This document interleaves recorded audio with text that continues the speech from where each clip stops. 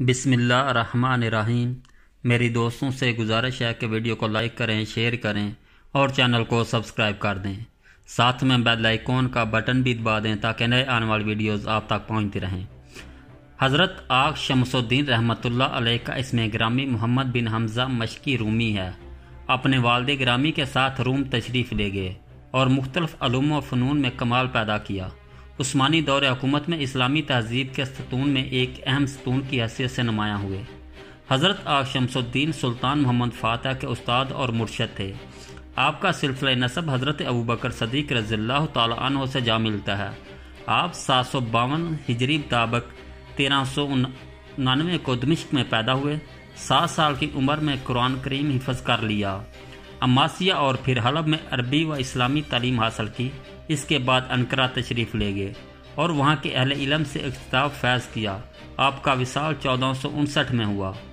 حضرت شیخ آغ شمس الدین نے امیر محمد فاتح کو اس دور کی بنیادی علوم پر آئے یعنی قرآن قرآن و سنت، فقہ، علوم، اسلامیہ اور لسانیت، عربی، فارسی اور ترکی کے علاوہ جدید علوم مثلا ریاضی، فلکیات، تاریخ اور فنون حرب شیخ نے کئی دوسرے علماء کو یہ ذمہ داری سونپی بھی کہ وہ سلطان کو سیاسی امور کی انجام دہی اور حکومت کے اصول و قواعد سکھائیں تاکہ وہ بہترین حکمران ثابت ہوں۔ یہ ان دنوں کی بات ہے جب سلطان مغیثیہ میں امرات کے فرائض سر انجام دے رہے تھے۔ شیخ آکس شمس الدین نے اس سگرا سنی میں امیر کو یہ بات بابر کرا دی تھی کہ حدیث نبوی صلی اللہ علیہ وسلم کنستنطونیہ ضرور فتح ہوگا اور اس کا امیر بہترین امیر ہوگا۔ وہ لشکر بہترین لشکر ہوگا۔ کا مصدق وہ خود ہوا اور جب یہ امیر تخت نشی ہوا اور دولت عثمانیہ کی انان حکومت سنبھالی تو وہ جوان ہو چکا تھا۔ شیخ نے اسے حکم دیا کہ فوراً اپنے لشکر کو تیاری کا حکم دے تاکہ رسول اللہ صلی اللہ علیہ وسلم کی یہ حدیث ان کے حق میں پوری ہو۔ سلطان نے اپنے مرشد کے حکم سے چاروں طرف سے کنستنطونیہ کا محاصرہ کر لیا اور چرنجا روز تک دونوں فوجوں میں خونریز جنگ جاری رہی۔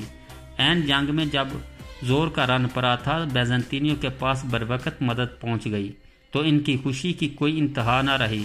پوپ نے چار جہاز بھیجے تھے۔ وہ عثمانی جہازوں سے لڑ بر کر قلعہ کے سامنے پہنچ چکے تھے۔ اور اس کامیابی نے موسرین کے حوصلوں کو مہمیز کر دیا تھا۔ اس میں ایسے سلمانی امرا اور وزراء جمع ہوئے اور سلطان محمد فاتح کی خدمت میں پیش ہو کر عرض کی، آپ نے ایک شیخ کے کہنے پر اتنے بڑے لشکر کو اس شہر کے محاصرے پر لگا دیا ہے۔ ان کا مقصد شیخ شمس الدین تھے۔ بہت سا لشکر ہلاک ہو چکا ہے اور بہت زیادہ ساز و سامان برباد ہو چکا ہے۔ پھر قلعہ میں موجود کافروں کو انگریزوں کی طرف سے مدد پہنچنے والی ہے اور فتح کی کوئی صورت نظر نہیں آ رہی۔ سلطان نے اپنے وزیر ولی الدین احمد پاشا کو شیخ آغ شمس الدین کے خیمے میں بھیجا تاکہ وہ پوچھیں کہ اس کا حل کیا ہے۔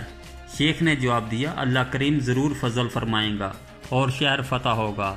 سلطان اس جواب سے مطمئن نہ ہوا اور اپنے وزیر کو دوبارہ شیخ کی خدمت میں بھیجا اور رزقی کے قدرے وضاحت فرما دے۔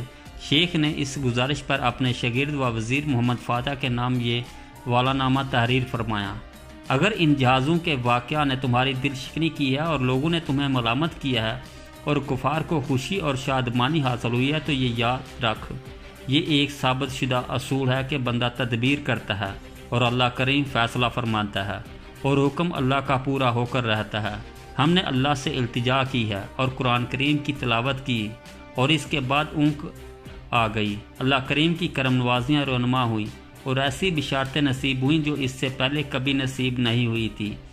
اس گفتگو نے امرا اور لشکر کی راحت اور اطمینان پیدا کر دیا۔ عثمانیوں کی جنگی کونسل نے فوراً جنگ جاری رکھنے کا فیصلہ صادر کر دیا۔ پھر سلطان محمد بازات خود شیخ کے خیمے کی طرف گیا۔ ان کی دست بوسی کی اور عرض کی، میرے آقا، مجھے کوئی دعا تعلیم فرمائیے، جس کی برکت سے اللہ تعالیٰ مجھے فتح کی توفیق عطا فرما دے۔ شیخ نے انہیں کوئی دعا سکھائی۔ سلطان اپنے پیر و مرشد کے خیمے سے باہر آئے اور عام حملے کا حکم دے دیا۔ سلطان چاہتا تھا کہ ان کے پیر و مرشد حملہ کے دوران ان کے ساتھ ساتھ رہیں۔ آدمی بیج کر ان سے اصدا کی، لیکن شیخ نے حکم دے رکھا تھا کہ کوئی آدمی ان کے خیمے میں داخل نہ ہو۔ دربان نے سلطان کے فرستادہ کو اندر آنے سے روک دیا۔ فرستادہ واپس لوٹ گیا۔ سلطان کو دربان کی اس بات پر بڑا گسایا وہ خود شیخ کے خیمے کی طرف آیا تاکہ ان سے گزارش کرے۔ دربار نے سلطان کو بھی خیمے میں جانے سے روک دیا کہ یہ شیخ کا حکم ہے۔ سلطان نے آستین سے اپنا خنجر نکالا۔ خیمے کا کپڑا ایک طرف سے چاہ کر کے اندر جھانکا تو عجیب منظر تھا۔ شیخ اللہ کریم کے حضور سجدے میں پڑے ہوئے تھے۔ ان کا امامہ ان کے سر سے گر چکا تھا۔ ان کے سفید بال زمین پر بکھرے ہوئے تھے۔ اور ریش مبارک سر کے بالوں سے ایک نور ویتا ہو رہا تھا۔ سلطان اپنے پیر و مرشد کی اس کفیت کو دیکھ رہا تھا۔ اچانک شیخ نے اپنا سر سجدے سے اٹھایا۔ آنسوں کی رخساروں پر موتیوں کی طرح چمک رہے تھے۔ وہ اپنے رب سے دعا کر رہے تھے اور فتح و نصرت کے لیے التجا کر رہے تھے۔ سلطان اس کے بعد اپنے قیامگاہ میں آیا اور فصیل شہر پر نظر کی۔ اچانک وہ کیا دیکھتے ہیں کہ فصیل میں شگاف پیدا ہو چکے ہیں۔ وہ مسلم لشکر بڑی تیزی سے شہر میں داخل ہو رہے ہیں۔ سلطان اس سے بہت خوش ہوا اور کہنے لگا، اس لیے خوش نہیں کہ شہر فتح ہو گیا۔ بلکہ میری خوشی اس وجہ سے ہے کہ میرے دور میں ایسی بابرکت ہستیاں موجود ہیں۔ علامہ شوکانی اپنی کتاب البدر الطالیہ میں لکھتے ہیں کہ شیخ شمس الدین کی برکت اور فضل و کمال کا ضرور ہوا اور انہوں نے سلطان کو بتا دیا تھا کہ کسی روز ان کے ہاتھ پر کنستونیہ کا شہر فتح ہوگا۔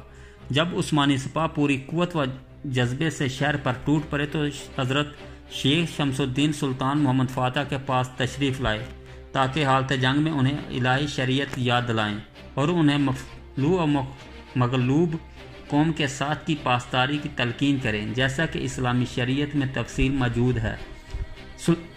سلطان محمد فاتح نے تمام فوج کی حوصلہ افزائی کے لیے تحائف و ارتیات دینے کے لیے، ان کے لیے ایک بہت بڑے کھانے کا اہتمام کیا۔ فتح کا یہ جشن تین دن تک جاری رہا اور اس دوران زنت و آرائش و خوشیاں منانے کا پورا اہتمام کیا گیا۔ سلطان فوج کو اپنے ہاتھ سے کھانا کھلاتا رہا۔ جیسا کہ حدیث پاک میں ہے، قوم کا سردار، قوم کا خادم ہوتا ہے۔ اس تقریب کے بعد سلطان کے پیر و مرشد جو بہت بڑے عالم و اور تقوی و روح حامل بہت بڑے انسان تھے، کھڑے ہوئے اور فوج سے خطاب کیا۔ آپ نے فرمایا، اے اسلام کے سپاہیوں جان لو اور یاد رکھو، نبی کریم صلی اللہ علیہ وسلم نے تمہارے بارے فرمایا تھا۔ کنستونیہ ضرور فتح ہوگا اور اس کا امیر بہترین امیر ہوگا۔ وہ لشکر بہترین لشکر ہوگا۔ ہم اللہ تعالیٰ سے سوال کرتے ہیں کہ وہ ہمیں بلائی کی توفیق عطا کرے اور ہماری کوتاہیوں کو بخش دے۔ خبردار مال گلی نعمت جو تم نے حاصل کیا ہے، اس میں اسراف نہ کرنا۔ اس سے فضول خرچ کرنے کی بجائے شہر کے رہنے والوں کی فلاح و بہبود کے لیے خرچ کرنا۔ اپنے سلطان کی بات سننا، اس کی عطایت کرنا، اس سے محبت کرنا۔ پھر شیخ فاتح کی طرف متوجہ ہوئے اور فرمایا، اے میرے سلطان تو آل عثمان کی آنکھوں کی ٹھنڈک بن گیا ہے۔ ہمیشہ کے لیے مجاہد فی سبیل اللہ بن جا۔ پھر شیخ نے بلند آواز سے بڑے مضبوط لہجے میں اللہ اکبر کہا۔ حضرت شیخ شمس الدین نے اپنے نور ولایت سے صحابہ رسول سے حضرت ابو ایوب انصاری رضی اللہ تعالیٰ عنہ کی قبر پاک کی نشاندہی بھی کی۔ آپ کی قبر قسطنطنیہ کے فصیل کے قریب ایک جگہ واقع ہے۔ شیخ شمسدین رحمۃ اللہ، وہ پہلے شخص ہیں جنہوں نے مسجد آیا صوفیہ میں جمعہ المبارک کا خطبہ ارشاد فرمایا۔ سلطان محمد فاتح اپنے پیر و مرشد سے بہت محبت کرتے تھے۔ ان کے دل میں ان کی بے پناہ عزت تھی۔ فتح کے بعد سلطان نے اپنے ارد گرد لوگوں کو بتایا کہ تم مجھے بہت خوش دیکھ رہے ہو۔ میری خوشی صرف اس وجہ سے نہیں کہ یہ قلعہ فتح ہو گیا ہے، بلکہ میری خوشی کی اصل وجہ یہ ہے کہ میرے عہد میں ایک جلیل القدر شخص موجود ہے۔ اور وہ ہے میرے پیر و مرشد شیخ آگ شمس الدین۔ سلطان نے اپنے شیخ سے ڈرنے کی وجہ بیان کرتے ہوئے اپنے وزیر محمود پاشا سے کہا، میرا شیخ آگ شمس الدین کا احترام کرنا غیر اختیاری فعل ہے۔ جب میں ان کی بارگاہ میں حاضر ہوتا ہوں تو میں اپنے دل میں ایک ریب و دبدبہ محسوس کرتا ہوں۔ البدر الطالیہ کے مصنف لکھتے ہیں، فتح کے ایک دن بعد سلطان آگ شمس الدین رحمۃ اللہ کے خیمے میں حاضر ہوا۔ شیخ لپٹے ہوئے تھے۔ انہوں نے سلطان کی آمد کو کوئی پرواہ نہ کی اور لیٹے رہے۔ سلطان نے ان کی دست بوسی کی اور عرض کیا، میں ایک ضرورت لے کر حاضر ہوا ہوں۔ شیخ نے فرمایا، کیا سلطان نے عرض کیا، میں آپ کے ساتھ عزلت نشینی کر چاہتا ہوں۔ شیخ نے انکار کر دیا۔ سلطان نے اصرار کیا اور بار بار گزارش کی، لیکن شیخ کا ایک ہی جواب تھا، نہیں، سلطان ناراض ہو گیا اور عرض کرنے لگا، ایک ترک آپ کی خدمت میں حاضر ہوتا ہے۔ اور وہ صرف ایک بار کہتا ہے اور آپ اسے اپنے ساتھ عزلت نشینی کی اجازت دے دیتے ہیں اور میں بار بار گزارش کرتا ہوں، لیکن آپ انکار فرما رہے ہیں۔ شیخ نے فرمایا، جب آپ خلوص نشینی کی لذت سے شاد و کام ہوں گے تو سلطنت و امرات کا آپ کی نظروں میں حقیر بان ہو جائے گی۔ نتیجن امور سلطنت بگڑ جائے گی۔ جس کی وجہ سے اللہ تعالی ہم سے ناراض ہو جائے گا۔ خلوط نشینی سے مقصود عدالت ہر ایک چیز کو اس کی جگہ پر رکھنا ہے۔ تجھ پر لازم ہے کہ فلاں فلاں کام کرو۔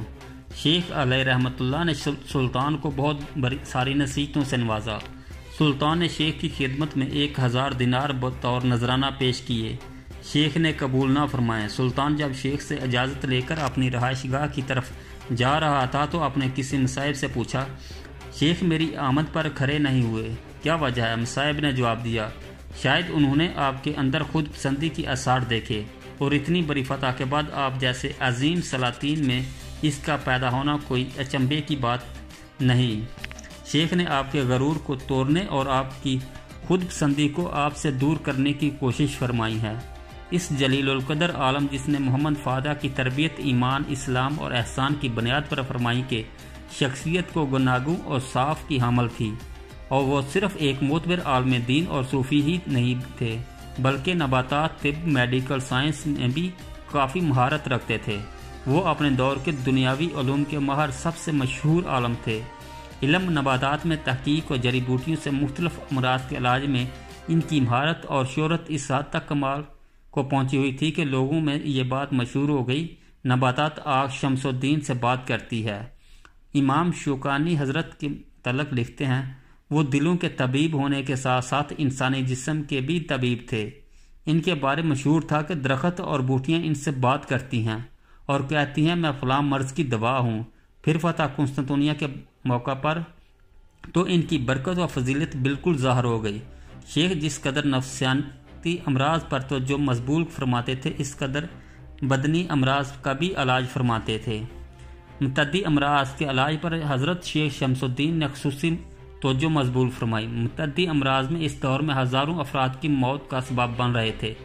شیخ نے متعدی امراض کے بارے ترکی زبان میں ایک کتاب بھی تحریر فرمائی، جس کا نام ماتت الحیاتہ ہے۔ اور آپ ایک جگہ لکھتے ہیں، یہ سمجھنا غلط ہے کہ امراض براہ راست اشخاص پر ظاہر ہوتی ہے، بلکہ حقیقت یہ ہے کہ امراض ایک شخص سے دوسرے شخص کی طرف متعدی صورت میں منتقل ہوتی ہیں۔ جس کیڑے کے ذریعے یہ امراض ایک شخص سے دوسرے شخص تک پہنچتی ہے وہ نہایت ہی چھوٹا ہوتا ہے، اتنا چھوٹا کہ خالی آنکھ سے نظر نہیں آتا، اور یہ کیڑا زندہ ہوتا ہے۔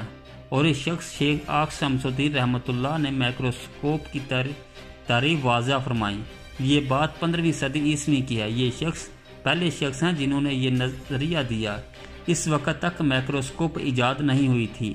حضرت شیخ علیہ السلام رحمۃ اللہ کی حیات زاری کے چار سو سال بعد فرانسیسی سائنسدان لویس پاسٹر پیدا ہوا جس نے کیمسٹری اور بیالوجی میں دا تحقیق دی اور اس نتیجہ پر پہنچا کہ جس پر شیخ چار صدیاں پہلے پہنچ چکا تھا۔ شیخ آق شمس الدین رحمۃ اللہ نے سرطان کے بارے بھی تحقیق فرمائی۔ اس موضوع پر اپنی تحقیقات کو قلم بند کیا کہ شیخ کی دو کتابیں طب متعلق ہیں۔ ایک ماتت الحیاتہ اور دوسری کتاب الطب اور یہ دونوں کتابیں ترکی اور عثمانی زبان میں ہیں۔ سات کتابیں عربی زبان میں لکھیں جو مختلف موضوعات پر ہیں۔ حل مشکلات ارسالت النور، مقالات، لا اولیاء، رسالت الفی ذکر اللہ، المطائف دف المطائن رسالت الفی شرح حاج البحرام۔ شیخ نے جب وطن واپسی کی ضرورت محسوس کی تو کنیوک، جو ان کا اصل وطن تھا، واپس آ گئے۔ اگرچہ سلطان نے انہیں استنبول پر آنا نام قسطنطنیہ میں رہنے کے لیے بہت اصرار کیا، آپ آٹھ سو تریسٹھ ہجری مطابق چودہ سو انسٹھ کو فوت ہوئے۔ اللہ کی آپ پر رحمت، مغفرت اور اللہ تعالیٰ آپ سے خوش ہوں۔ اس یہ اللہ کریم کی اپنی مخلوق کے بارے سنت ہے کہ وہ کوئی بھی ربانی قائد و قابل فخر فاتحہ اس وقت تک پیدا نہیں ہوتا جب تک اسے علماء ربانی کی صحبت میسر نہیں آتی، جو اس کی تعلیم و تربیت میں اپنا کردار ادا اور اس کی رہنمائی کا فریضہ ادا کرے۔ اس سلسلے میں بہت ساری مثالیں موجود ہیں۔ دولتر مراتین میں ہم نے یہ یا بن ابراہیم کی تربیت میں عبداللہ بن یاسین اور دولت ایوبیہ میں صلاح الدین ایوبی کی تعلیم و تربیت میں قاضی فاضل کے کردار کو تفصیل سے بیان کیا ہے۔ اور اس کتاب میں محمد فاتحہ کی تعلیم و تربیت اور تعمیر سیرت میں خواجہ شمس الدین رحمۃ اللہ علیہ کے کردار پر روشنی ڈالی ہے۔ اللہ تعالیٰ ان پاکان امت پر اپنی رحمت فرمائے۔ ان کے مسائل کو قبول فرمائے اور مسلیم میں ان کے ذکر کو بلند فرمائیں